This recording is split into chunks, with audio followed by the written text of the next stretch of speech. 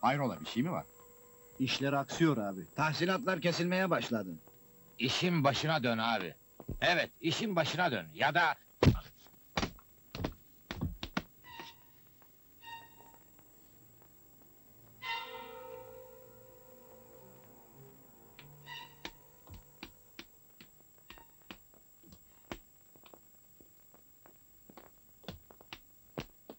Bu yaptıkların sana yakışmıyor.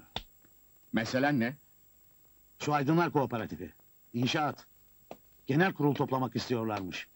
Bizim adamlarımızı yönetim kurulundan düşürürlerse evraklara el koyup hesap sormaya kalkarlar. O tahrikçinin amacı bu. Tahrikçi kim? Kim olacak çocukluk arkadaşın? Fikret Hoca mı? Başka kim olabilir? Meseleyi hallet.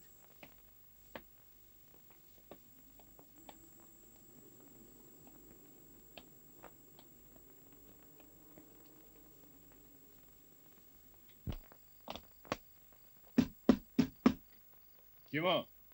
Gülüm, seni alır dağa çıkarım. Yüce dağ başında çadır açarım. Kahve bulamazsam kengel içerim. Nasıl olsa gülüm, seni beslerim. Evlerinin önü uzunca asma.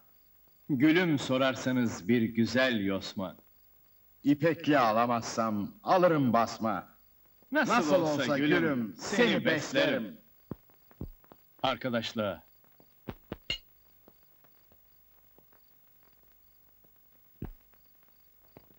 İlk rakı içtiğimiz günü hatırlar mısın?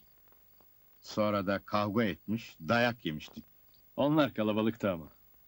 Biz yediğimiz dayakla kaldık ya. Davut, Hı. seni üzen bir şey mi var? Açık ol. Biz eski arkadaş değil miyiz? Söyle. Hocasın. Arı kovanla çomak sokmak nedir bilirsin. Devam et. Tahrikçilikle suçlanıyorsun. Şu yapı kooperatifi meselesi. Davut, kabadayı Kara Mustafa'nın kardeşi Davut. Daha açık ol. Daha açık. Yüksek sesle konuşma.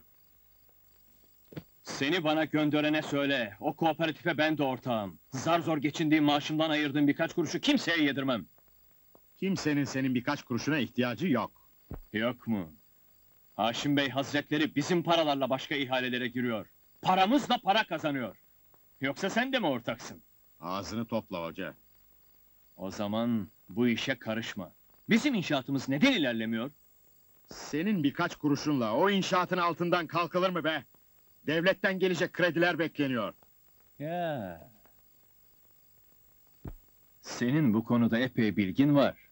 Gücün de varsa o inşaatın hızlanmasını sağla da birkaç dar gelirlinin yüzü gülsün ha?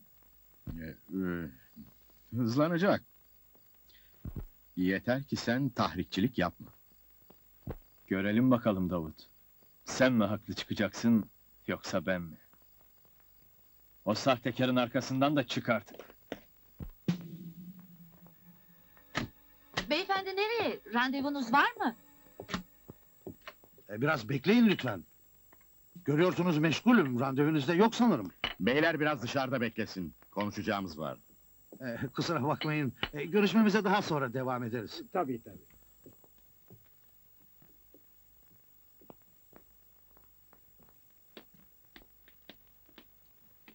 Beni güç durumda bıraktın. Bu adamlar Ankara'dan, partiden. Hakkımda karar verecek insanlar. Demek siyasete atılacaksınız. Sizi zora soktum demek. Hep gözden uzakta buluşuyorduk değil mi? Derdin ne? Emrinizi yerine getirdim. Fikret Hoca tahrikçilik yapmayacak.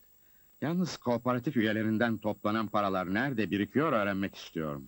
Sen delirdin mi oğlum?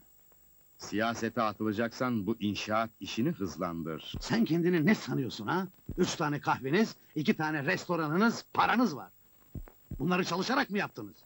Babam Van'dan geldiğinde yazın tezgahta kavun, kışında kahvelerde salatalık turşusu satardı. Sonra belinde silah ve de Kara Mustafa'nın kardeşisin diye kendini kabadayı sanma. Daha silah bile çekmedin. Ben silah çekmem. Ama çekersem Neyse. Aslında haklısın. Siyasete atılacak kişi her şeyi hesaplamalı. Kooperatif işini halletmeliyim. Beni uyardın Davut. Sağ ol. Sağ ol. Kahveyi nasıl içersin? Oturup biraz daha sohbet edelim.